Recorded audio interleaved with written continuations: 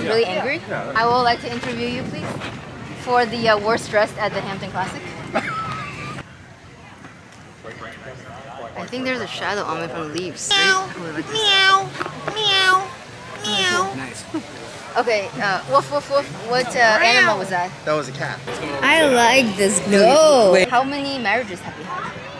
One, never again. I'm working with a client right now. But I could also be a client. Yes, you I have daddy's money. Sorry. We're kind of wearing the same colors. We are.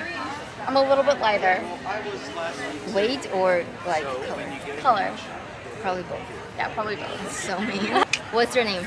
Uh, John Benjamin Espinosa Herrera. You're Spanish. You could just- Do you think that um, crying makes people more beautiful? Yes, absolutely. Without a doubt. I'm so serious. 150% yes. Let's not pass. Oh, sorry.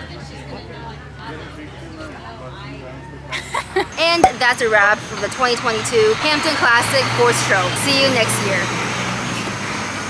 All right, good stuff. I despise anyone with daddy's money.